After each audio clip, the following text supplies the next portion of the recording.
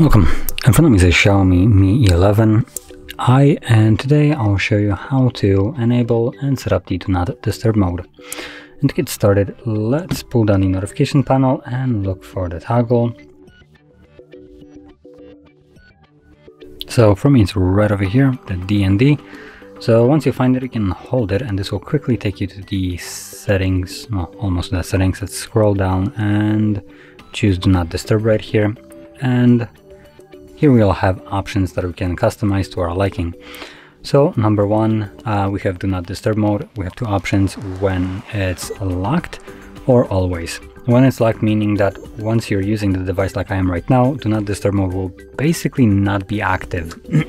but when you lock it, it will uh, enable itself. Now, the always basically functions as always, um, just as a typical uh, do not disturb mode. And below that we have exceptions for calls and notifications, I believe, or messages, coming calls. I don't actually don't see messages for some reason. Uh, but anyway, as you can see, for calls, uh, you can set up who can call you, anyone, contacts, favorites, or no one, with the addition of this toggle right here, which means if someone calls you twice within a 15 minute period, they will completely bypass the uh, option that is set right here. So by default, no one should be able to call us, but if they meet this requirement, they will bypass it. And lastly, we have the uh, schedule turn on time. So here you can set up a schedule if you want to, and this will allow you to just set it up once and never have to enable or disable the not dis disturb mode.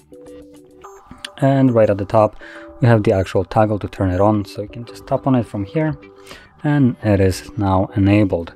Now you can also tap on it from the notification panel right here. Now it's enabled, so if I tap on it, I will now disable it. So that is how you would set it up and use it. And if you found this very helpful, don't forget to hit like, subscribe, and thanks for watching.